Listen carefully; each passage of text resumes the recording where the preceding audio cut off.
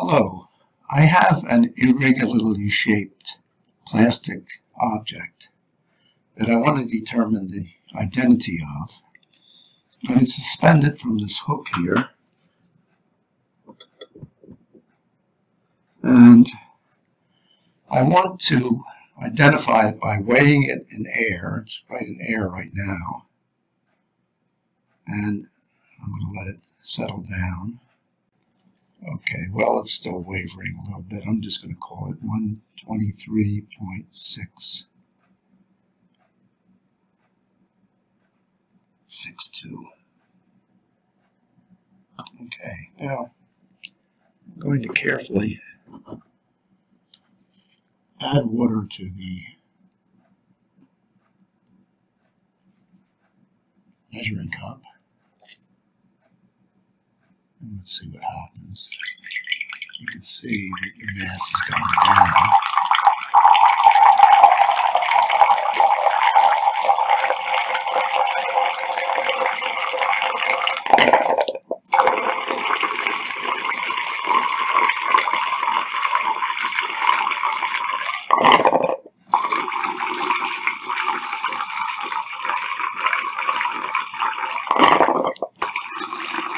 I want to completely submerge it. Now notice once I completely submerge it,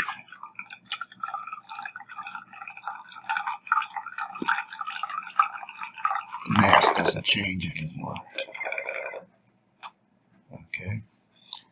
The, the water in there is causing it to uh, dampen the vibration or swinging. There are some air bubbles. Um,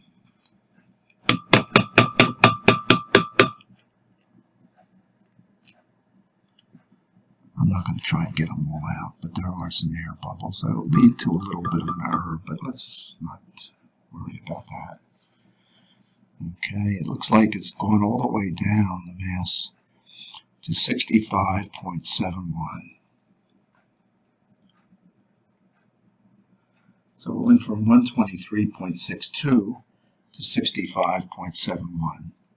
It got much lighter and this is because the um, water displaced by the object uh, creates a buoyant force and uh, the, the, mass of the water displaced um, uh, makes it lighter by that amount. So let's analyze the data. Okay, let's see how we're going to analyze this. First of all, we weighed the object in air, and the force on the object in air, we're going to really disregard any buoyancy due to air. The force in air is the mass of the object to times the gravitational, the acceleration due to gravity, mg. Now, I, I do want you to remember that uh, the volume of the object and the volume of the water displaced are the same, okay? So the force in air is the density times the volume of the object times the acceleration due to gravity. It's equal to the density times volume times g and the mass. It's also equal to the mass times g. But do remember the, as we do the next part, that the volume of the object and the volume of the water displaced are the same.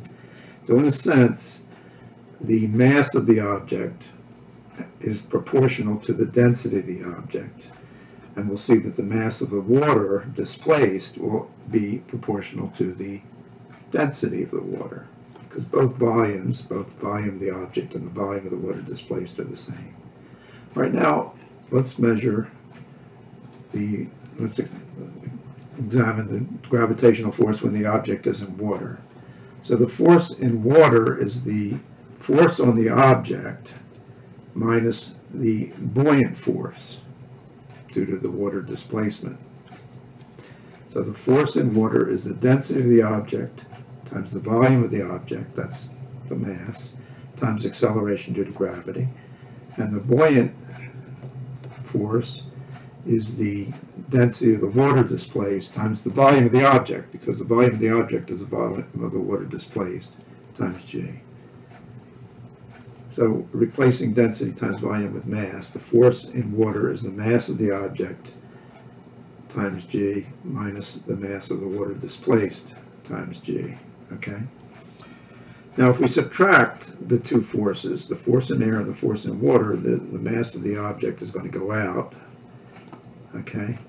And we'll be left with the density times volume of the water times the acceleration due to gravity, or the mass of the water displaced times the acceleration due to gravity. So in these equations, it's important to remember since volume and g are the same um, for both water and the object, um, the mass and the densities are proportional.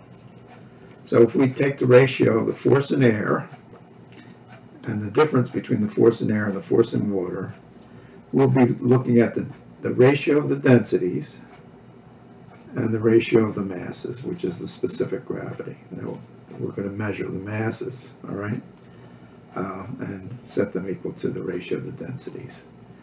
So the force in air minus the difference in the forces is equal to, we measured 123 in mass ratios, uh, 123.62 grams for the object, and the difference in mass when it's in air versus water is uh, 59.9, 57.91. So basically, this is the mass of the object, and this is the mass of the water displaced.